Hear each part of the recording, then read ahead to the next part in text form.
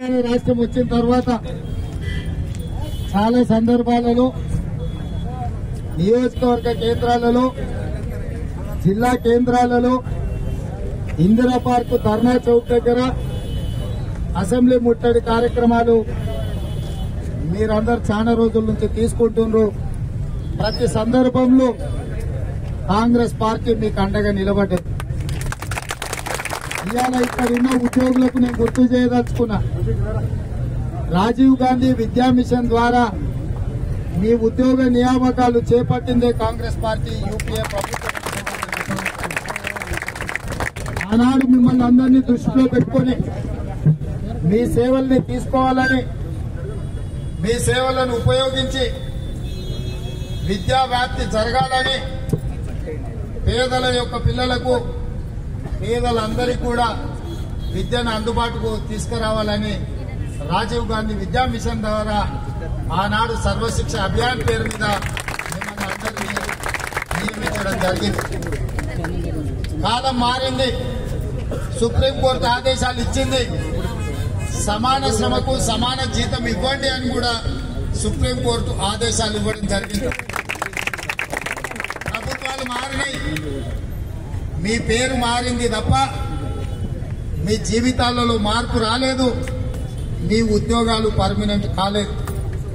ఇవాళ ప్రభుత్వ పాఠశాలలలో ఉన్న టీచర్లకు ఏ విద్యా అర్హతలు ఉన్నాయో అలాంటి విద్యా అర్హతలు అన్నీ మీకు ఉన్నాయి ఇవాళ వాళ్ళతో పాటు పోటీ పడి వాళ్ళకంటే చెప్పుకొని ఇవాళ మీరు శ్రమ చేస్తుండ్రు. ప్రభుత్వానికి ఏ పని పడ్డా మొదట మిమ్మల్ని పిలిచి మీ సేవలు వినియోగం ద్వారా ప్రజల దగ్గరికి చేరే ప్రయత్నం చేస్తుంది. కానీ మీ సమస్య చెప్పినప్పుడల్లా మీ సమస్యను ప్రస్తావించడానికి కానీ మీ సమస్యలు పరిష్కరించడానికి కానీ మీతో చర్చించడానికి ప్రభుత్వాలు ముందుకు వస్తలేవు.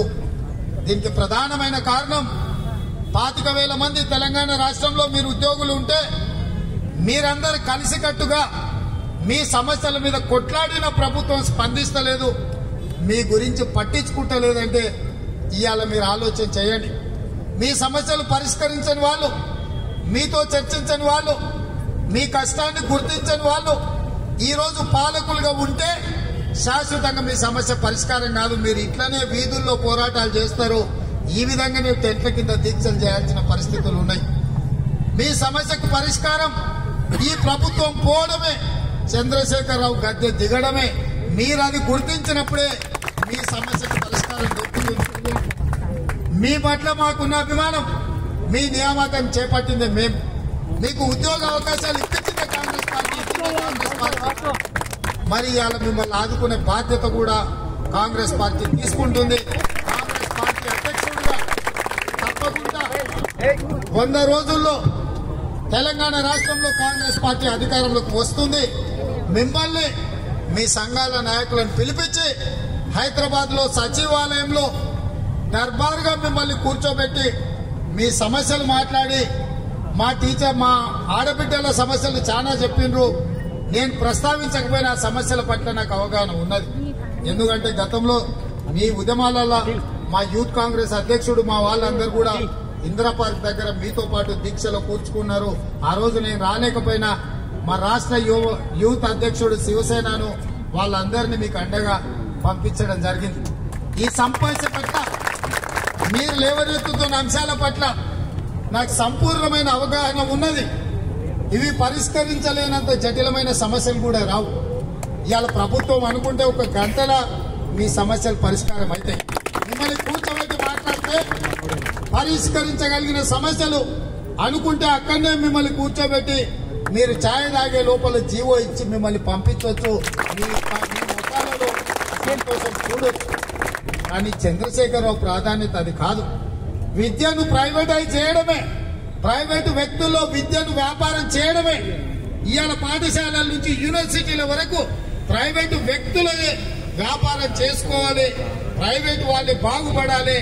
ప్రభుత్వ విద్యను మొత్తం విధ్వంసం చెయ్యాలి. పేదలకు విద్యను దూరం చెయ్యాలి.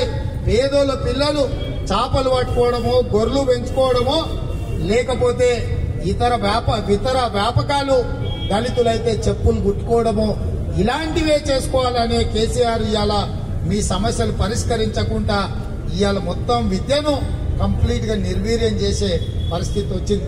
రైట్ టు ఎడ్యుకేషన్ యాక్ట్ తీసుకొచ్చి ఈ దేశంలో పుట్టిన ప్రతి వాడు విద్యను ప్రాథమిక హక్కుగా మార్చి అది ప్రభుత్వం బాధ్యత తీసుకోవాలని రైట్ టు ఎడ్యుకేషన్ యాక్ట్ తీసుకొచ్చింది కాంగ్రెస్ పార్టీ. ఇవాళ తెలంగాణ అమలు జరగడం లేదు. రాష్ట్ర ప్రభుత్వాలు అమలు చేయాల్సిన రైట్ టు ఎడ్యుకేషన్ యాక్ట్ ఇవాళ తెలంగాణ రాష్ట్రంలో అమలు జరగడం లేదు. రైట్ టు ఎడ్యుకేషన్ యాక్ట్ అమలు